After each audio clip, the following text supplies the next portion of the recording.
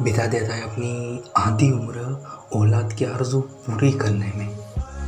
और उसी बाप के कई सपने लावारिस रह जाते